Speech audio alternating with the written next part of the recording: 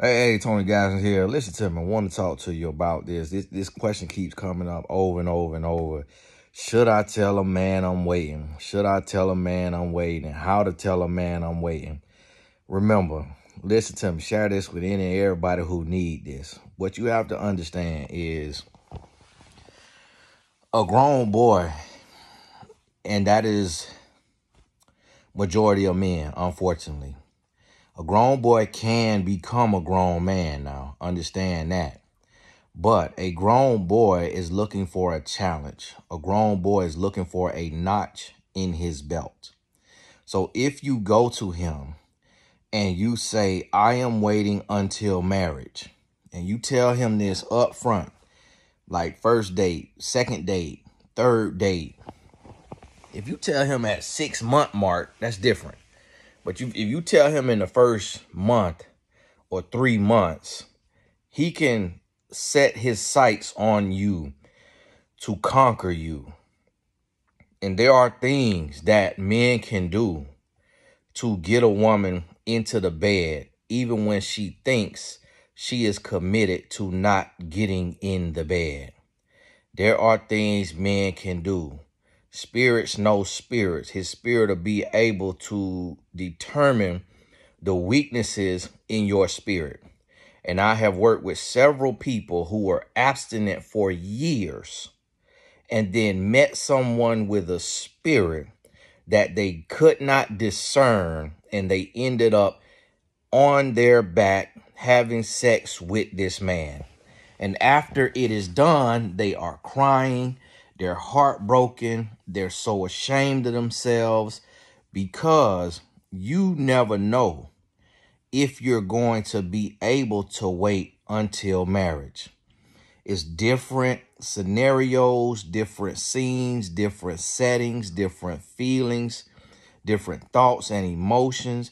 And spiritual warfare is very real and it gets very hot and intense and high and hard to deal with. So understand, any of us, any of us can fall into fornication and or adultery. You have to remain humble. You got to be hungry. You got to be consistent, hungry for God's word, hungry for the knowledge. And what you have to understand is what you say you are going to do that is between you and God. That is none of anyone else's business. Regardless of what anybody tells you out here, you do not owe it to anyone to tell them your life plans, especially before they are your life partner. The reason why an opponent or op ask you your plays for your playbook is so that they can create a def defense to stop your offense.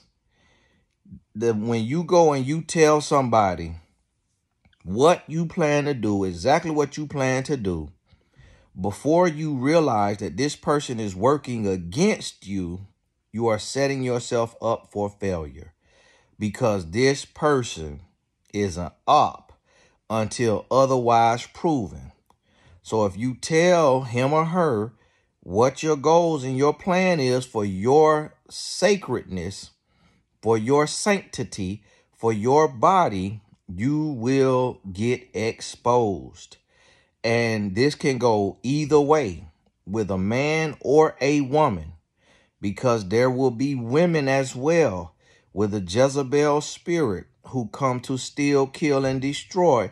They want to devour a man's will to abstain from sex so that she can have power and control over him to get her bills paid and vice versa. A lot of men, a lot of men will put down some good D on a woman and do everything in the book to this woman so that she can loan him some money. So what you have to realize and understand is that this is very real. This is very real. And you have to be mindful. So listen to me. When you are dating someone, and I'm a, and this could be inverted, but I'm gonna speak from for the woman dating a man, because this is where it most often happens. I'll be surprised. If you are dating a man and you talking to him on the first date, second date, third date, whenever he says, you know, so how do you feel about sex? Are you waiting? Are you planning to wait? You tell him that and and we'll role play. So he say, so so what do you think about sex? Like, are you sexually active? Are you waiting? Then you could tell him, I'll know when I'm ready to have sex with someone. Then he says, well, how long does that take? I'll know when I know. I don't know how long it could take. So for some women, it might be first night. I've never seen myself want to do it on the first night. Could be first month, could be first year, could be the second year. You never know. It just depends on where I'm at in my life and this person. So are you waiting until marriage? I don't know. I can't speak for tomorrow. I know I'm waiting right now. I know that that's not really even a conversation you and I should be having.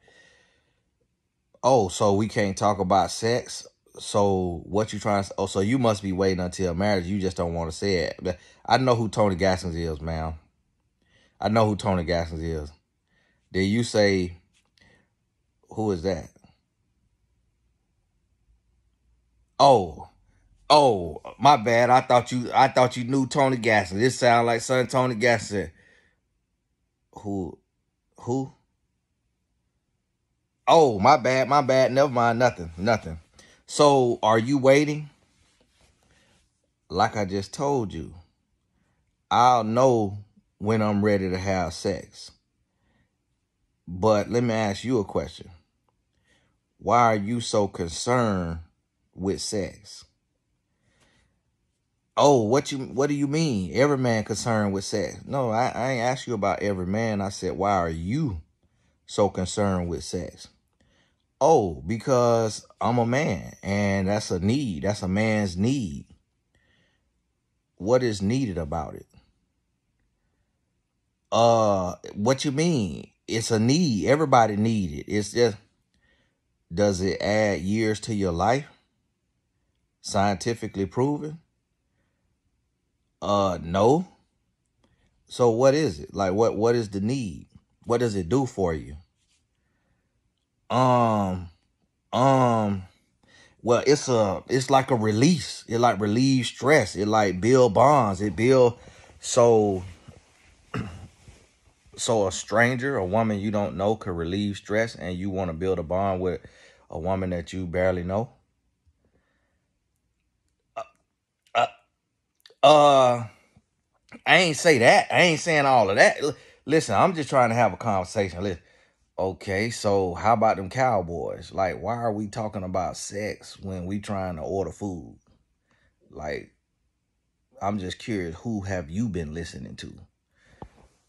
Because you mentioned somebody, Gasman. Who have you been listening to? You see what I'm saying? This is what you have to understand that you don't owe nobody no explanation. You don't owe nobody your whole game plan. But that is the goal of a grown boy. A grown boy comes in and he wants you to read him your script. And he wants you to read him your script so that he can pick a role in the movie of your life. And he finna come in and play a role until he get his Oscar. And then he dropping you like a bad habit and he moving on to the next movie role to try to get another Oscar. So you cannot read your whole script. You can't tell your whole plan. You got to be aloof. You got to be aloof so that way you're able to then let him show you who he is. And what you have to be able to do, you got to spin it on this person, male or female, and make them feel stupid for being a slave to a nut. That's what you're going to have to do. Point blank, period. Hey, this Tony Gaskin. God bless you. Think about this. This ain't easy for everybody. Practice it in the mirror. Work on it. And just stop telling your business because it hurt worse when you tell your business and you do so out of pride or you do so out of hope and then you fall on your back. It hurt worse. It do more damage and you lose the the trust of the person because now they don't know if this was just a game you was playing to look classy or to look holy or to look righteous, but you knew all along you were going to bust that thing wide open. And so this what you have to be mindful of. Hey, this Tony Gaskin. God bless you. We'll talk soon.